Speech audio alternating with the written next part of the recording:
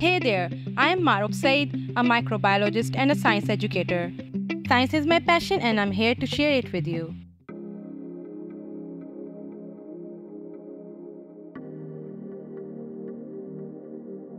You will need blue tip box, yellow tip box and our solutions for DNA isolation. Here we have 1XTE which is composed of TRIS and EDTA. Then we have SDS.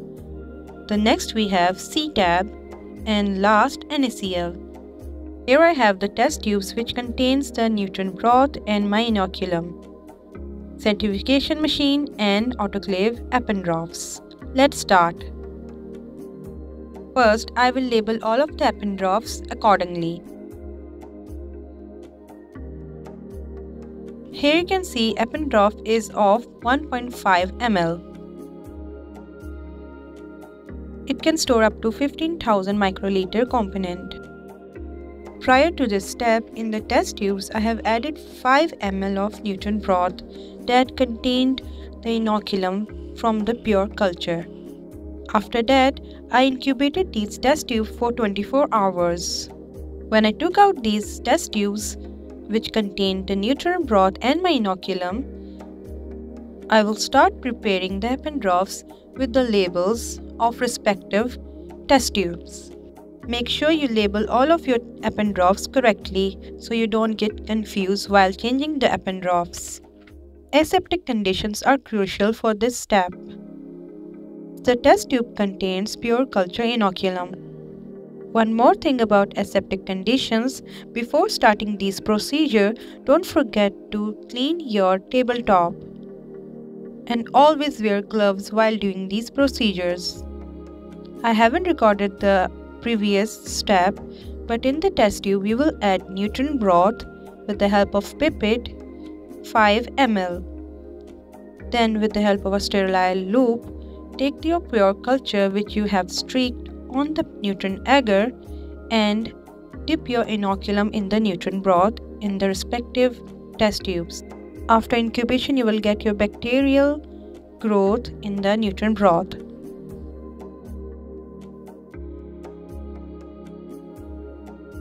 So here I have changed my setup to another area. I will take my pipette which is of 100 to 1000 microliter with the help of the blue tip. Now I will take the test tube and pipette out 1000 microliter of nutrient broth which contains my inoculum into the Eppendorf. Likewise, I will keep on changing my pipette until I fill all of the Eppendorfs. I will keep repeating this step until all my test tubes are empty into this Eppendorf. As far as I can remember, I have done this step 3 to 4 times until all my test tubes were emptied. Be very patient with these protocols So you can see my Eppendorf containing the broth. Let's get to the next part. So here I'm going to load all of my samples into the centrifugation machine. This centrifugation machine contains 24 wells. When you load your sample, make sure you keep an equal distance between another sample. Do you know why we keep an equal distance? It's only because you know the centrifugation machine will spin so it needs equal weight all around. Here you can see I have kept an equal distance between my samples. Now I will close the lid tightly.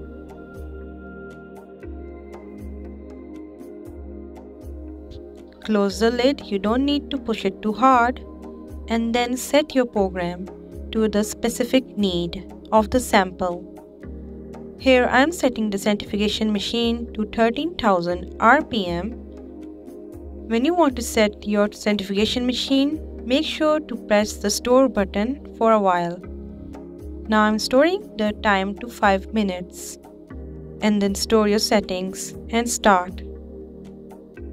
The centrifugation machine will start its time as it reach 13,000 RPM. Now take a beaker and discard the supernatant into it. leaving the pellet behind. Make sure not to discard the pellet off of the Eppendorf.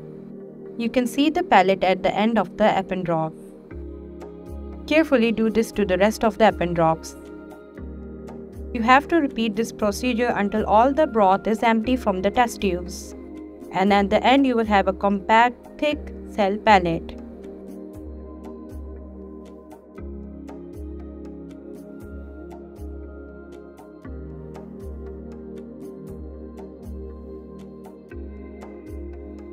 After completing all this procedure and having a compact cell pellet at the end of the Eppendorf, now I will use 1XTE buffer. This step is called resuspension. But before resuspending the pellets into the TE buffer, I will remove the remaining supernatant off of the pellets. Carefully with the help of the micropipette, I will discard off the supernatant off of the pellet. Remember, always change the blue tip with each Eppendorf. Do not pipette out the supernatant with the same blue tip.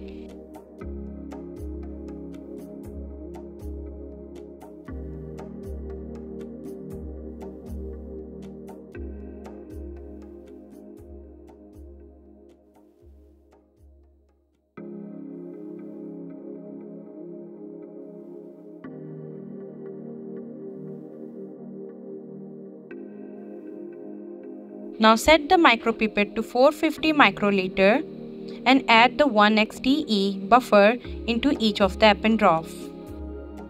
The purpose of the TE buffer is to solubilize DNA or RNA while protecting it from degradation.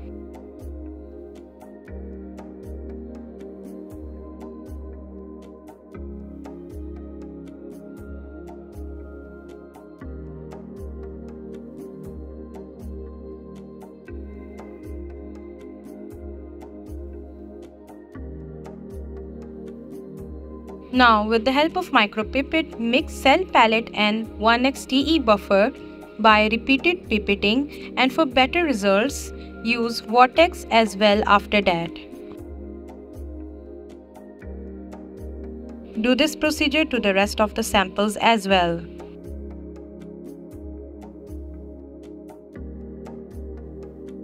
Now the next procedure is the lysis of the cell. For that we will need SDS which is sodium dodecyl sulfate. Now setting my pipette to 45 microliter, I will add 10% SDS into the resuspended cells. Here's a tip if you have many samples to work with. Open all the lids of the Eppendorf so it is easy for you to work with. There will be less contamination as well. Now take 45 microliter of 10% SDS and add it to resuspended cells. So you might be having a question why we use SDS in cell lysis. The interaction between SDS and cell membrane proteins will contribute to cell lysis promoting DNA extraction, while interaction with DNA inhibits subsequent amplification assays. Therefore, a suitable SDS concentration is needed to guarantee high yield and purity of extracted DNA. Now mix thoroughly to ensure proper lysis. If you keep on pipetting and vortexing the sample, you will have a great result at the end. If you want to know that your cells are lysed, you will get bubbling of the sample. A foam will be created in the Eppendorf. This will ensure that the cells are properly lysed. So for a proper DNA isolation, this step is crucial because if the cells are not lysed properly, you will not get the inner component which is the DNA. So to break open the cell, you will need to break the cell membrane. Here you can see the forming of the sample. The forming represents that the cells are being lysed properly. So what if there is no forming? When there is no forming, this tells us that our first step was not done properly which was the harvesting of the cells. Make sure you do this step carefully and slowly. If you show hustle in this step, your sample will be leaked out. And a point to remember, with every sample, change the blue tip. Don't pipette the sample with the same blue tip. Here's another tip for you. If you see the bubbling of the sample out of the rims of the Eppendorf, then don't close the lid of the Eppendorf. Keep it open so the forms are settled down. After pipetting all the samples, incubate the mixture for 1 hour at 36 to 37 degrees Celsius. Now that we have achieved cell lysis, we'll go to the next step which is protein precipitation. Add 100 microliter of sodium chloride to the mixture. NaCl helps to remove proteins that are bound to the DNA. It also helps to keep the proteins dissolved in aqueous layer so they do not precipitate in the alcohol along with the DNA by neutralizing the negative charges on the DNA so that the molecules can come together. Now with the help of the micropipette, I will mix the sample properly. Constantly mixing the sample gives best result for DNA isolation. Before pipetting, add 1 microliter of CTAB to the mixture and gently mix. Then incubate the mixture at 65 to 75 degrees Celsius for 30 minutes or further to 1 hour as well. Make sure that the lid of the caps are closed properly. In between the incubation period, after every 10 minutes, mix the samples 15 times up and down and then re-incubate it. This ensures the proper functioning of the chemicals that are added into the pellet. Also, make sure that before adding CTAB, the CTAB must be warm. Now the next step is phenol chloroform extraction. For that you will need phenol chloroform isoamyl alcohol with the ratio of 25-24 1. Add an equal volume of phenol chloroform isoamyl alcohol to the mixture. This step separates nucleic acid from other cellular substances. A mixture of phenol, chloroform and isoamyl alcohol is added to the tissue sample to promote the partition of lipids and debris into an organic phase, leaving the DNA in the aqueous phase. Mix gently with the help of pipetting or vortex machine. Then centrifuge the tube at 13,000 rpm for 5 minutes.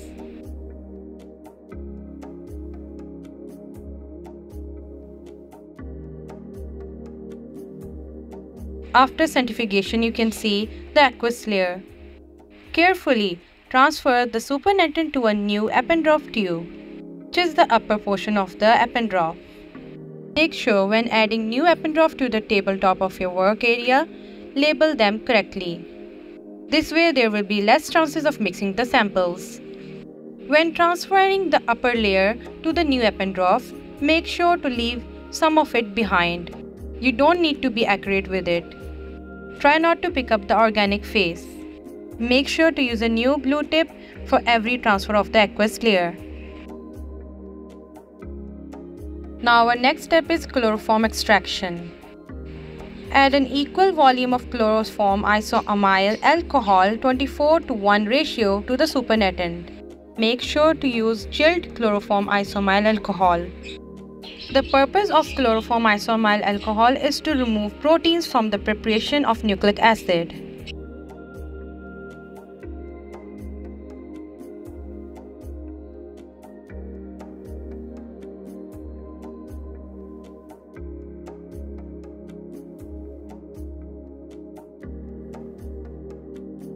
Now that I have added an equal volume of chloroform isoamyl alcohol to the supernatant, make sure to mix it gently.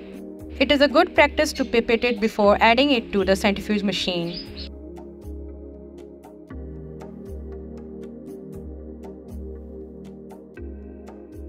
Centrifuge the tube at 13,000 rpm for 5 minutes. After centrifugation, carefully transfer the supernatant to a new Eppendorf. And as I have told you before, leave a bit of the supernatant behind.